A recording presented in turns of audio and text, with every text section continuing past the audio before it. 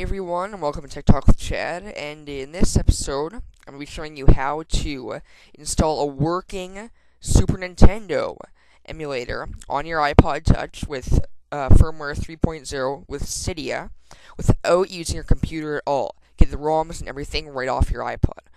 So anyway, what you want to do is you want to have Cydia open, and you want it to be in Manage, and then you want to go to Sources. Now you want to click on Edit and then add. Okay, and now for the URL, you want to type in irom repo. Now I'll have this in the video description, by the way. dot com forward slash Cydia with a capital C. This has to be a capital C. Cydia forward slash S N E S. Okay, and now I'll have this in the video description so you can see it there and double check and everything. So uh, what you want to do is you want to click on add source, but I'm going to click cancel because I've already done this. And what this will do, this will basically install all the ROMs onto, or it won't install them. It'll it'll have all your ROMs here, so you can download them. Now, now what you want to do is you want to go search and then search SNES. Okay, and now you should have all these games now. Um, all these games are Super Nintendo ROMs, so you can download them. But first, you want to go down to S.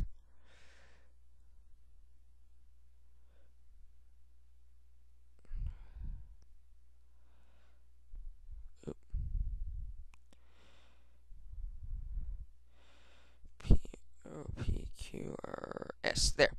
And S, there we go. SNES for iPhone. Click on that. And then you want to download this. Just download it. And there you go. And now, what you want to do once it's downloaded, you can just pick your ROMs and download ROMs. So I'm just going to find a ROM here. Let's say I want Mario.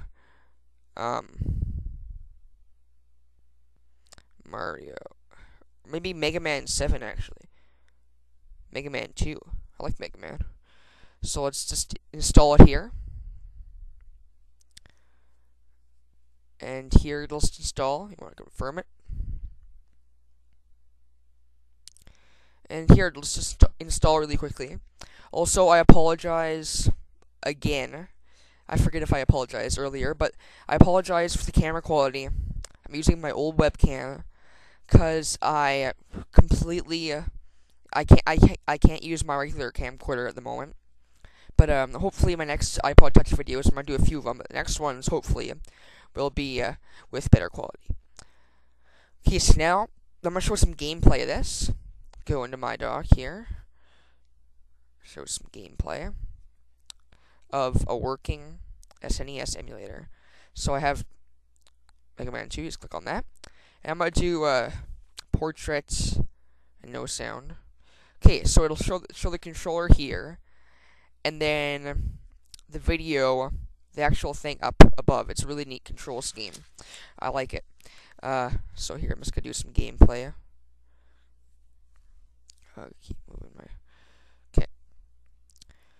Start.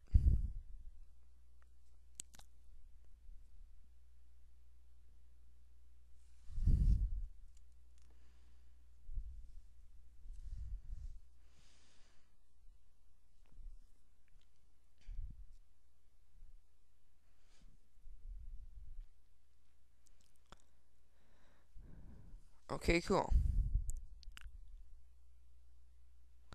Okay, so you get the point, right? So anyway, that has been how to install um, uh, an SNES emulator on your iPod Touch or iPhone. This works on any one of them.